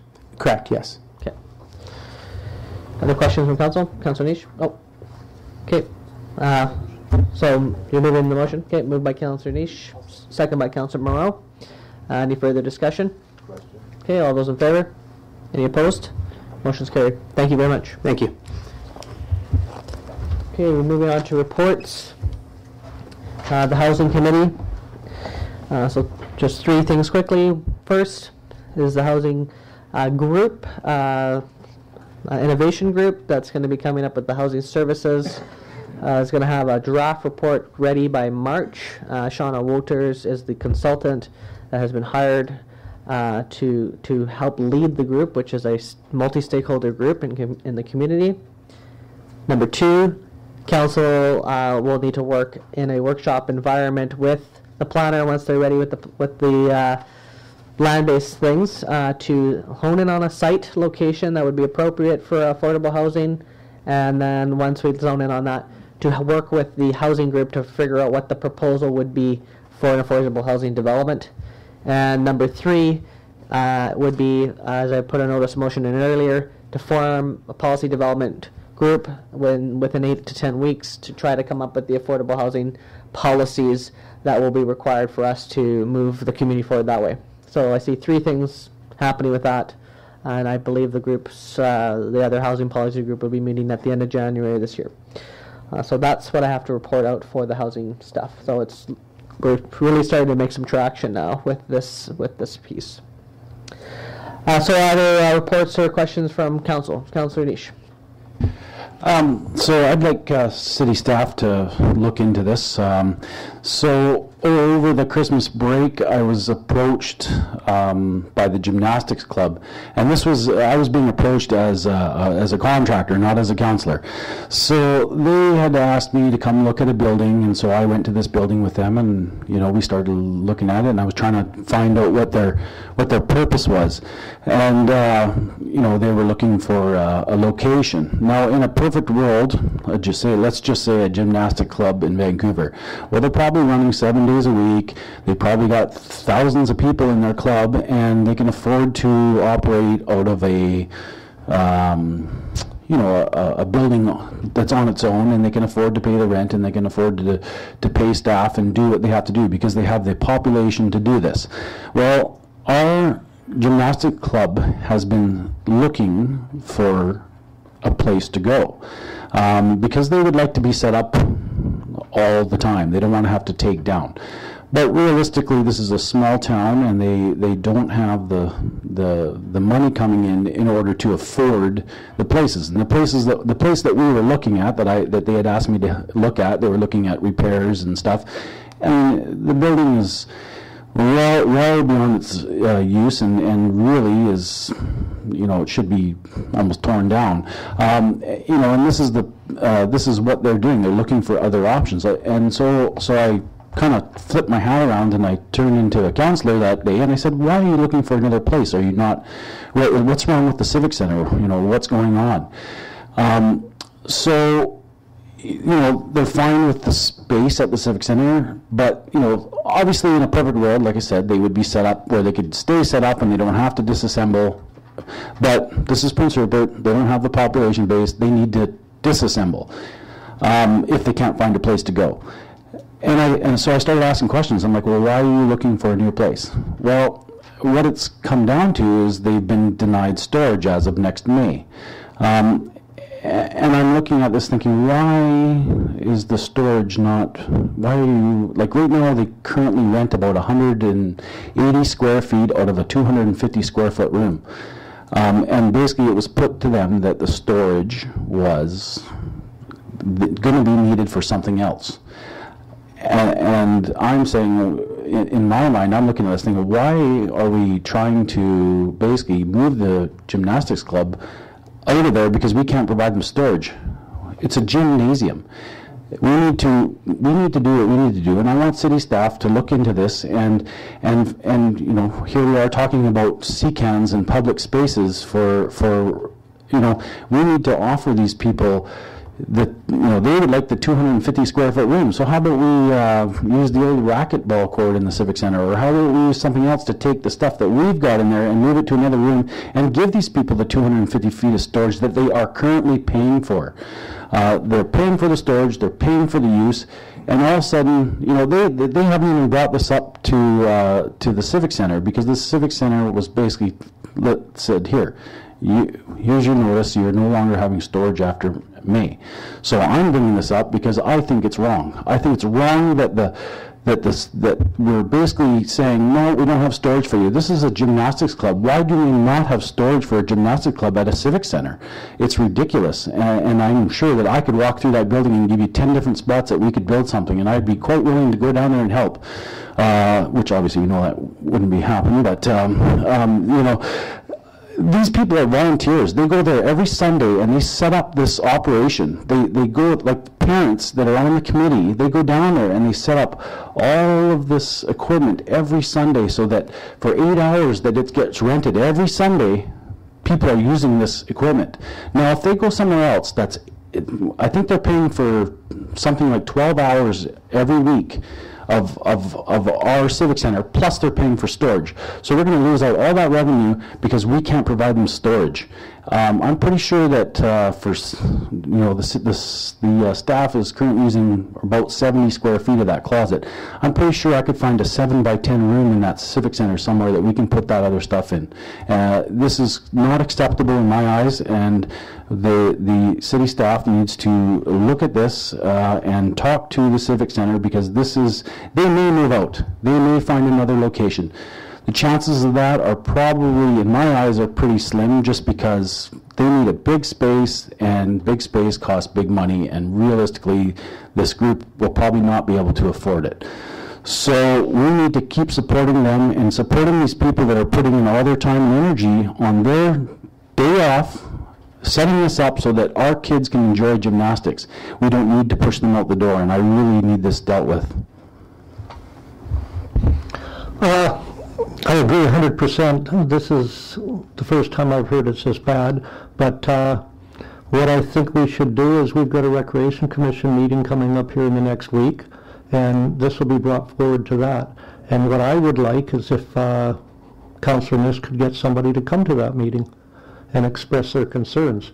You know, like, uh, I, I see no reason why they can't be accommodated in any way. It's, uh, you know, they're, they're residents of this city, they pay taxes, their taxes run that building, and it's a, a club that is growing in size monthly, and it needs to be accommodated. It's, it, it's, uh, you know, I, I've seen little cubby holes there, washrooms that are no longer used, that could be torn out or, or revamped so they can. I know the rec center has a lot of structural problems. It's, it's got a lot of housekeeping to do, but uh, doing that housekeeping by not giving people access to the facility is another problem. So I really think that this should, if we could get, I would, if somebody from the gymnastics club can get a hold of me, because I sit on the recreation committee, I would definitely have them come to the meeting and we would, we would address it and get, get right to the bottom. And, you know, uh, I believe Lee sits on the commission whenever he can get to it and he's been to most of the meetings, so,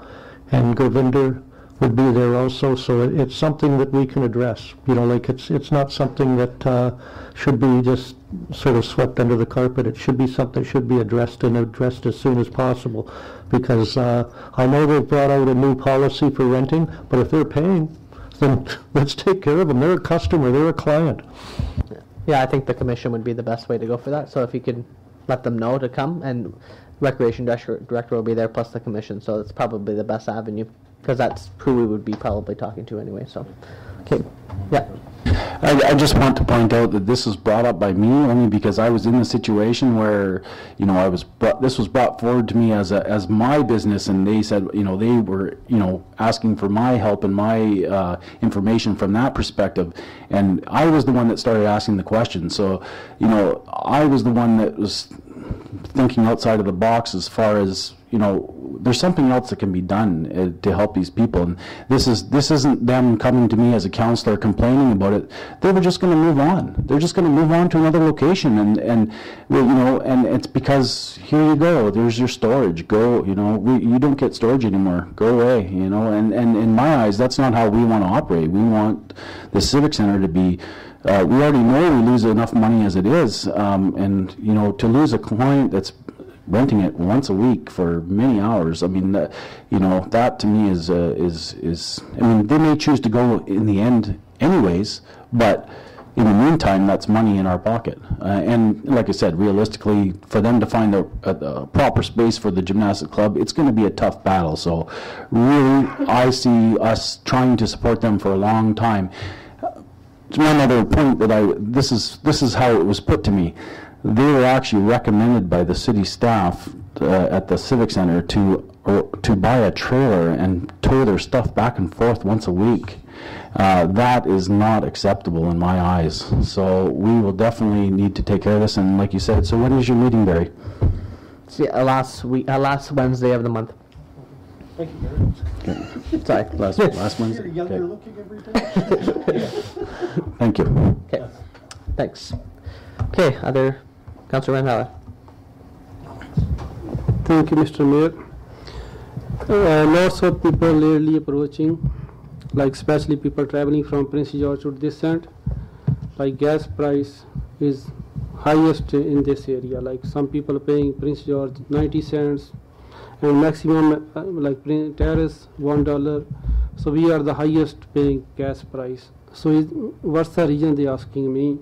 So I don't know like why it's like freight charge extra or taxes in Prince Rupert. So I don't know what's the answer. So maybe our manager can help me that. that's a difficult one to to ask for because in many ways th- they have complete control over what the prices are. Right? We we can't set bylaws to do anything like that. So that's a that's a difficult one. I mean, I can ask around too if you'd like to figure it out. But uh, I I have seen the discrepancy myself as well. Councillor Cunningham. One thing, you know, we were talking about money, raising money and everything else. A while back, I think it was around April, Councillor Mirau brought up a thing called a revenue growth strategy. What Whatever happened with that?